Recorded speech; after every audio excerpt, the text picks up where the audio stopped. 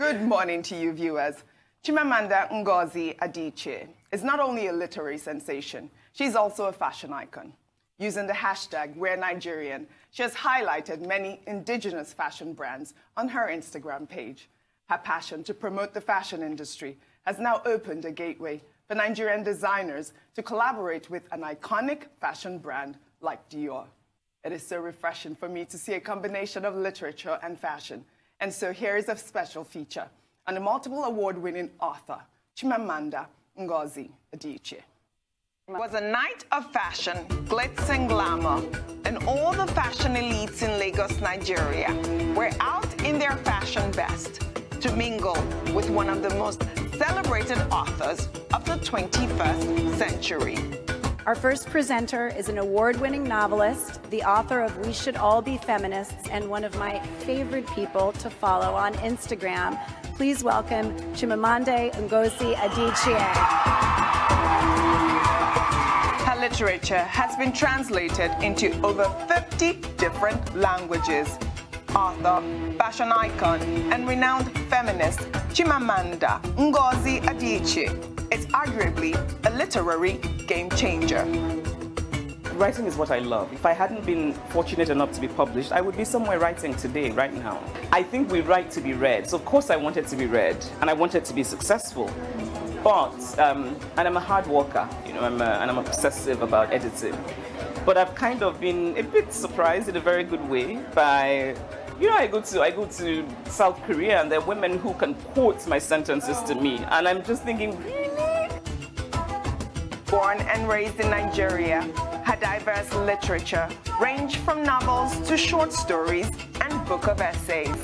Some of her early works gained her the reputation as one of the most prominent and critically acclaimed young author that have attracted a new generation of readers to African literature.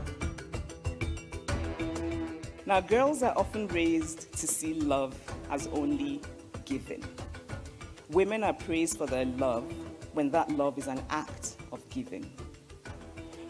But to love is to give and to take. Please love by giving and taking. Give and be given.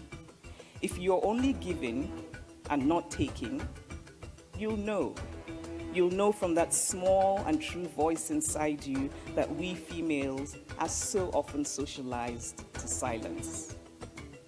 Don't silence that voice. Dare to take.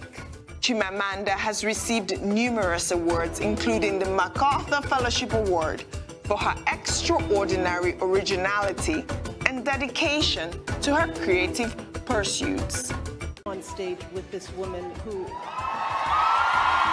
I am, I'm fangirling here. In 2005, her first novel, Purple Hibiscus, was awarded the Commonwealth Writers' Prize for the best first book.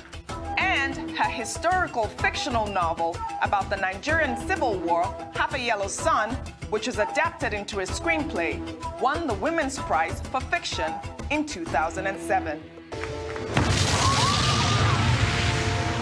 Chimamanda has been invited to speak around the world. In 2009, her TED Talk, The Danger of a Single Story, became one of the most viewed TED Talks of all time. In 2014, Grammy Award-winning artist Beyonce featured her book-length essay, We Should All Be Feminist, on her music video, Flawless, which started a worldwide campaign about feminism. Like I woke up like this. We flawless.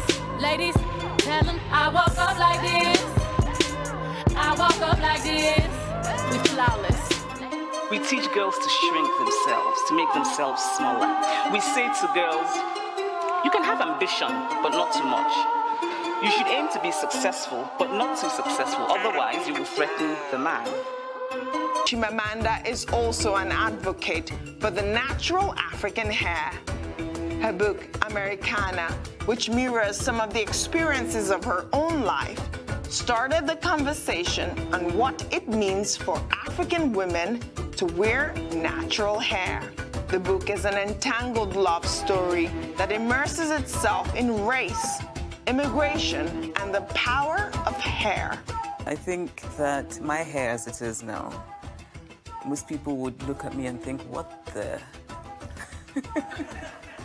um, I think people do make judgments about hair, and I think particularly for women and particularly for black women.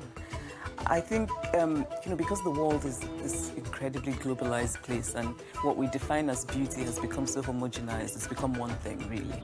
And so for many black women, beauty has become, you have to look like Beyonce. And when you choose not to, then it becomes strange. And when you choose to wear your hair the way it grows from your head, it becomes a political statement when often it isn't. Um. I spend way too much time thinking about what to wear. Um, that's a problem because because it means I haven't finished my novel. No, I think when I'm well dressed in general, when I like what I'm wearing, I just generally feel better and and more confident and more willing to go out into the world and do my work. Chimamanda's love and interest in the fashion industry inspired her to promote indigenous fashion brands with her project, Wear Nigerian. I caught up with the artist to discuss her passion for fashion, her love for Nigeria, and what it means to be one of the most celebrated authors from the African continent.